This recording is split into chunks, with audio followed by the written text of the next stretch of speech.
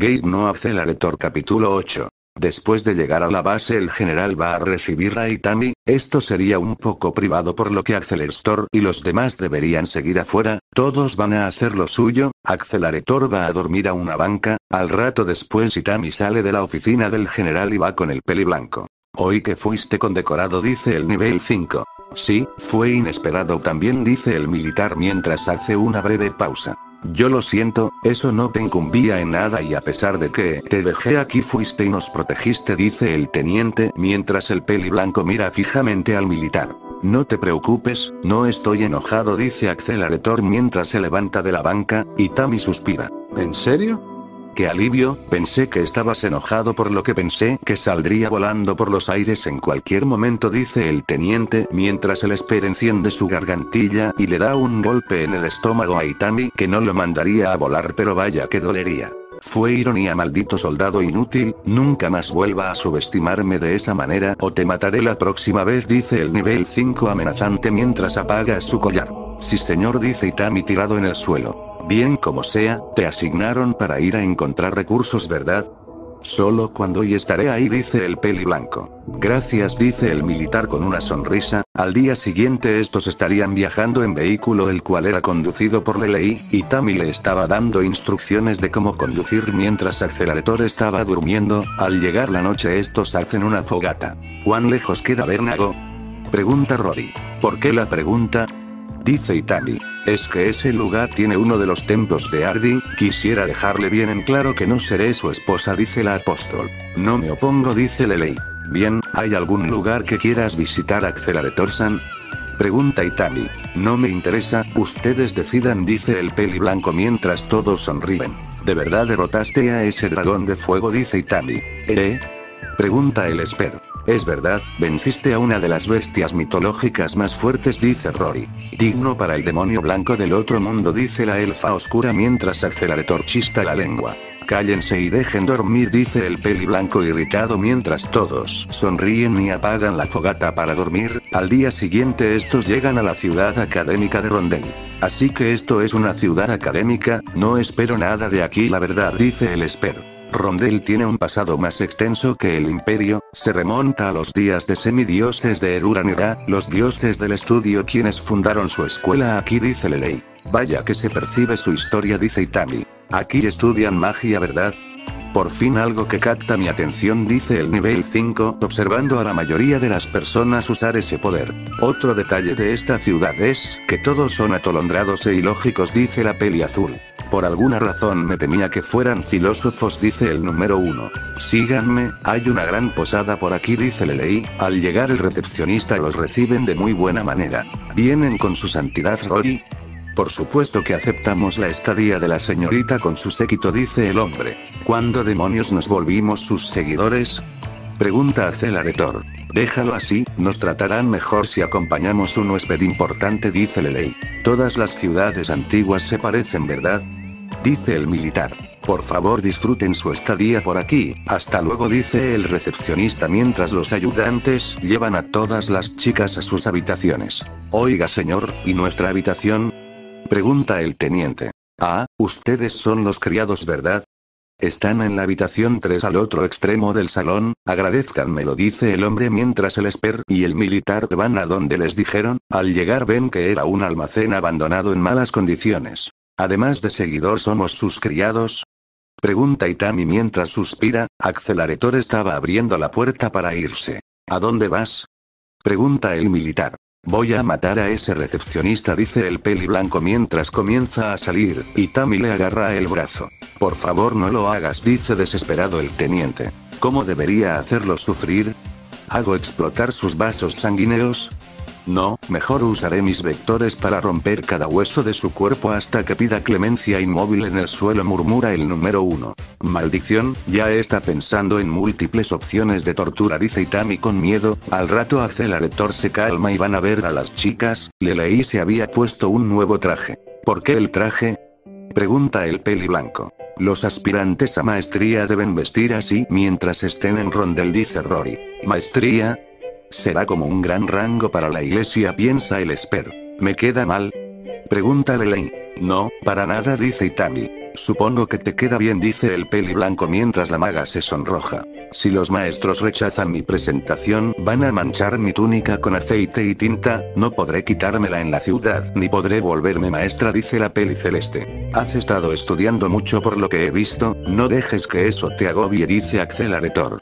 Tiene habilidad, de seguro te irá bien, dice Itami mientras le leía siente, estos van hacia una estructura, al llegar escuchan una explosión por un lado, al parecer un accidente de principiantes. Qué molestos dice el nivel 5 chistando la lengua, al tocar la puerta una anciana los recibe, esta actuaba de manera muy activa demostrando también su aparente obsesión por la chica maga, la vieja los invita a pasar. Es la primera vez que veo a una abuela como ella dice Accelerator. Supongo que es muy activa, dice Tuca. Al entrar la señora comienza a leer unos reportes sobre los logros de la peli azul al mismo tiempo que se impresionaba. Esto es espléndido, pensaba que eras muy joven para volverte maestra, pero según la carta de Kato conseguiste grande cosa, dice Mimosa.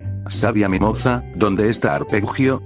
Pregunta Lei. Salió de compras hace un rato, pero antes de eso debemos conseguir sillas para tus invitados, dice la señora mientras se tropieza y cae al suelo, y Tammy va a ayudarla pero en eso aparece una mujer muy desesperada. Sabia, le dije que no debía hacer un desorden, dice la mujer, mientras la señora solo podía reír del nerviosismo. Maldición, yo lo limpiaré pero eres un estorbo así que por favor sal, dice Arpegio.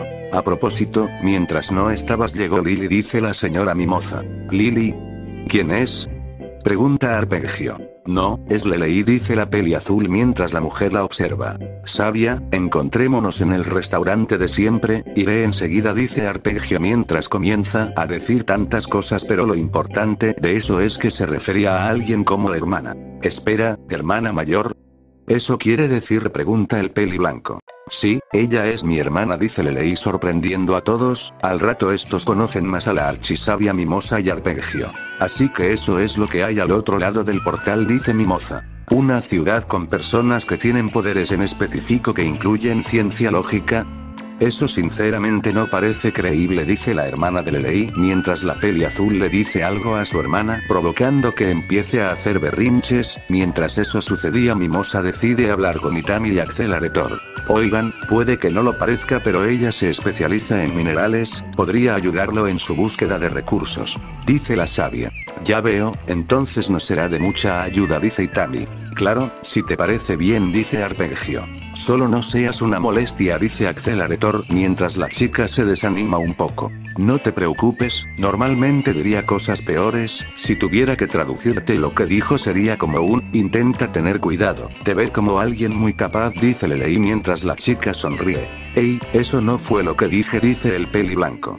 Ya veo, bueno Accelerator-san, es un placer trabajar contigo también dice Arpegio, mientras el esperchista la lengua. Como sea dice el número uno, al final la anciana conversa un poco con Rory, dando a entender que se conocían, esta última le había dado una tarea, de investigar el origen de las rachas, tema que capturó la atención del Esper, la señora Mimosa explica que todas las rachas provenían del portal en Alnus que se abría cada cierto tiempo. Nada mal dice la apóstol mientras la anciana celebraba ya que por fin podría descansar. ¿Ya sabías eso? Pregunta Itami. No todo, es voluntad de los dioses, los semidioses como yo nos limitamos a obedecerlos y proteger este mundo, a veces guiamos a gente prometedora y en otras eliminamos a quienes se acercan a lo prohibido, así mantenemos el orden del mundo dice Rory. Nunca oí sobre eso dice Lelei. ¿Ordene? Si funcionará así entonces quiere decir que Dios abandonó nuestro mundo hace tiempo dice Accelerator en tono aburrido, al rato las chicas discuten por la ceremonia de las tres noches, le leí, Tutka y Rory peleaban ya sea por Itami o Accelerator. Que ruidosas dice el peli blanco mientras que Arpegio en una acción de cólera vierte un tazón de sopa encima de Lelei cosa que captura la atención de todos incluyendo de Accelerator. ¿Eh? Era lo único que podía decirle el espera al ver la escena, al rato después. ¿Cómo rayos fue que llegamos a esto? Pregunta el peli blanco mientras ve cómo Lelei y Arpegio se preparaban para su duelo mágico que sería arbitrado por Rory. Por lo menos podré observar más de cerca lo que es esta magia piensa el Esper mientras las hermanas comienzan a luchar, Accelerator puede apreciar las armas mágicas ocupadas por estas dos, un bastón y una especie de cadena, usaban diferentes hechizos para volar o realizar ataques, después de una batalla algo igualada terminan empatando, las dos quedan en el suelo, Lelei queda cansada pero un hombre encapuchado llega y apunta con una ballesta a la chica, esta solo podía ver asombrada la punta de esa flecha mientras el tiempo pasaba más lento, antes de que el tipo disparara algo, había llegado hasta su pierna atravesándola haciendo que el encapuchado caiga al suelo, le leí mira el objeto que hizo eso. ¿Una roca? Pregunta la maga mientras pensaba en una persona que podría hacer eso. Ustedes no se cansan, ¿verdad? A pesar de que yo estoy protegiéndolas y el imperio lo sabe aún así intentan asesinar a una dice el peli blanco mientras juega con algunas piedras en su mano. El demonio blanco, de todas las personas tenías que ser tú, no, aléjate dice el asesino mientras dispara una flecha al nivel 5, pero antes de impactar con su cuerpo la flecha cambia su dirección de manera antinatural, haciendo que impacte con el asesino. Ar dice el hombre gruñendo de dolor. Oh, qué pena, ¿en serio pensaste que podrías asesinar a alguien sin que yo lo supiera? Pues lo siento mucho amigo pero hasta aquí llegó tu viaje dice el Esper mientras pisa el suelo haciendo que el hombre se eleve algunos metros, este apunta su mano en dirección al encapuchado. Adiósito señor asesino dice el peli blanco mientras chasquea sus dedos haciendo que un gran tornado negro sea mandado al hombre desintegrándolo en el proceso, Accelerator mira a Lelei. ¿Estás bien? Sé que fue sorpresivo pero no había de qué preocuparse, lo tenía visto hace un rato, aunque quisieran no podrían hacerte nada dice Accelerator mientras dos caballeros imperiales llegan, estos van a un lugar más privado para hablar. La señora Piña nos ordenó que viniéramos a Rondel y escoltáramos a la señora Lelei a la capital, en el camino descubrimos que habían enviado asesinos por su cabeza dice un caballero. ¿Quién fue el contratista?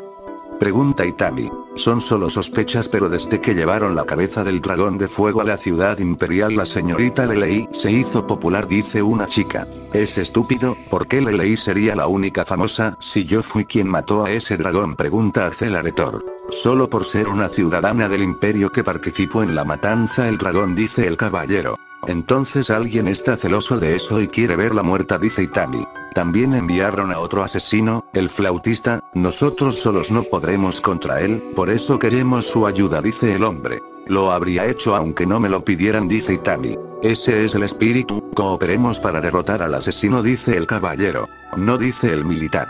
¿Por qué? Pregunta Greco Aldo. Aquí viene dice Accelerator sabiendo lo que diría el teniente. De momento, huiremos dice el militar mientras el peli blanco solo podía abofetearse la cara.